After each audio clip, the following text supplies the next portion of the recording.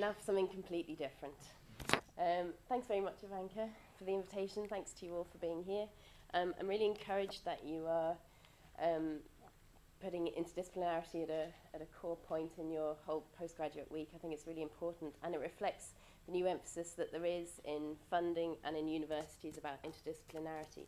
Um, I'm sure in our discussion we may come across uh, and raise some of the tensions that are involved in interdisciplinarity, especially when you're looking to develop your career and wondering where you're going to fit in and being appropriate for um, for lecturing positions, which tend still to be defined very much within uh, disciplines. Um, but it's great to explore the, the positive aspects of interdisciplinarity to begin with.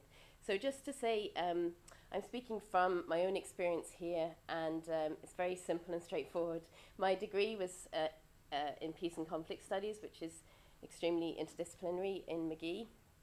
And then my PhD was in political science, um, but then I had several postdocs, all very interdisciplinary. interdisciplinary. I'm going to stumble over that word a lot, I think.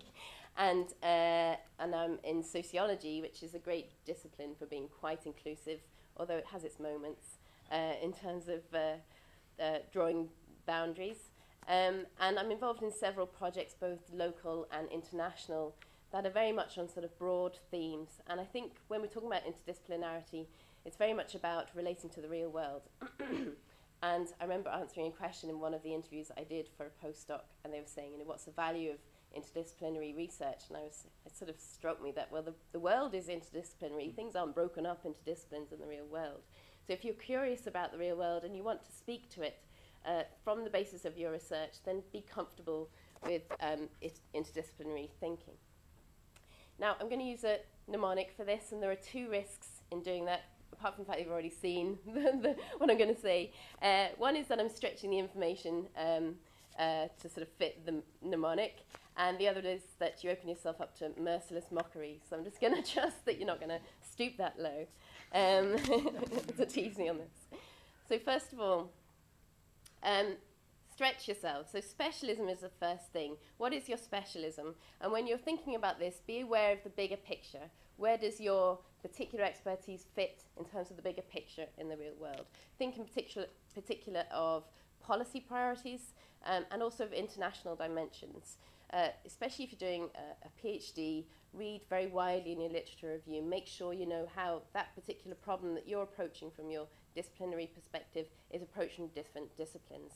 And from that way, at the very beginning, you've got a, uh, a sense of um, uh, familiarity, at the very least, with uh, interdisciplinary uh, perspectives on your particular expertise. Uh, so make your, um, your PhD a launching pad uh, that then, after you've completed it, you can go into different disciplines and indeed into different um, wider thematic areas. Which relates to the next point, um, so in terms of themes, how do you relate to the big themes? You need to be aware of the key priorities of the European Research Council, of um, RC UK. Um, they are touching now on trying to make academia uh, relevant and useful to the big issues that are facing uh, societies and global society. Um, so how does your specialism, or how could it possibly fit into some of these bigger issues, such as sustainability, such as security, such as communications, such as aging? Uh, be aware that these themes um, um, may change over time, but you can be kind of uh, assured that uh, they will be maintained by um, various funding streams, and then be aware of how you could possibly fit into those.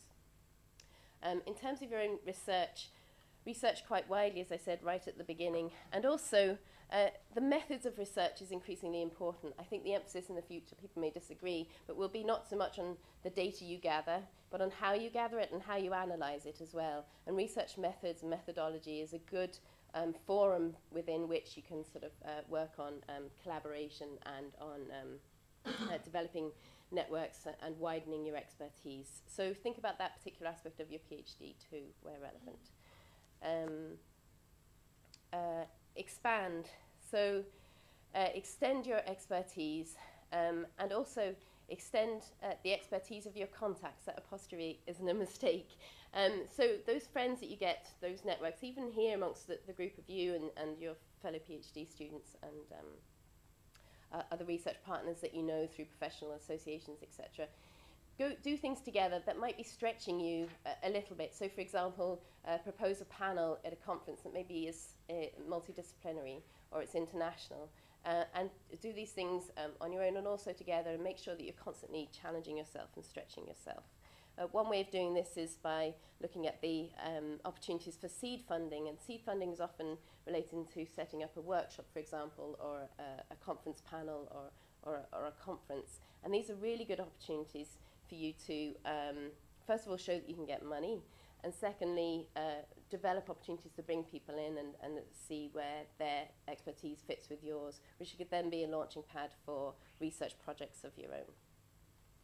Um, take up opportunities and be enthusiastic, and don't don't think that this will necessarily uh, do you any favors later on in terms of favoritism, uh, but it definitely means that you're well placed to, to know the opportunities that are coming up down the line. So, for example, in a professional association, volunteer to be the postgrad representative or stand for election to be the postgrad rep in your professional association. Um, or, as I say, get, get involved in helping to run conferences or uh, take up the opportunity to, to run a specialist group, for example. Um, and uh, again, all these steps will generally be stretching your expertise, but that's a good thing because that opens you up for more opportunities down the line. Um, collaborate first of all within your disciplines, particularly if you're comfortable, if you if you if you do have an expertise, it's particularly within your discipline. So use your professional association, uh, become familiar in your your local or national conferences in your discipline, and then use that for finding people within your uh, particular that that have re relevant expertise in relation to your particular interests, and broaden out from there. And then you can go and develop international contacts um, through uh, your discipline, as I mentioned, partly through setting up panels at international conferences, for example. and finally, think about your discipline as a platform. So don't think about it as like um, like a, a raft or an, an island that you're sort of set adrift on and you're sort of destined to stay on that for the rest of your career. It's very much like a platform as part of a scaffold that can link into to other disciplines. Um, and as I say, if you're very clear at the very beginning about how your specialism relates to the bigger themes and issues um, in, in wider social science or humanities research, then that sets you in a good position for linking in with um, other researchers in different universities and in different countries as well. Um, so to conclude, uh, interdisciplinarity is not easy. There is a sort of paradox of it being very much encouraged at the moment, but it's also uh, difficult when it comes to, it has certain challenges when it comes to uh, uh, getting a job.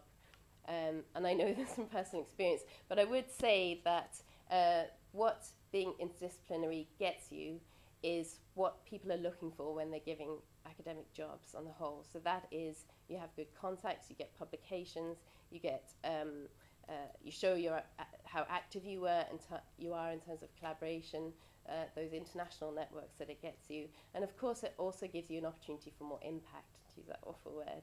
So if you're confident in your specialism and how it relates to the real world. Uh, from an interdisciplinary perspective, that gives you opportunity to link in with community organisations um, and indeed to influence ultimately perhaps um, some sort of uh, policy making or what have you. And again, this is what universities are now looking for, all of which is just um, crying out for more interdisciplinarity. Okay, thank you very much.